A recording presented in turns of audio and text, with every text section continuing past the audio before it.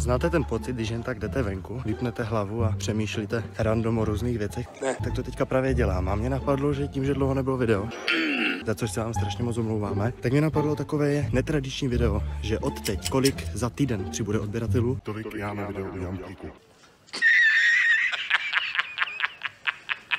Jo, já kliky, jo, takže samozřejmě nezapomeňte nás sledovat na Instagramu, na TikToku, nezapomeňte sdílet videa, shorty a podporovat nás co nejvíc, co můžete, protože za necelé dva měsíce vydáme YouTube členství, takže nás budete moct podporovat ještě více než teďka.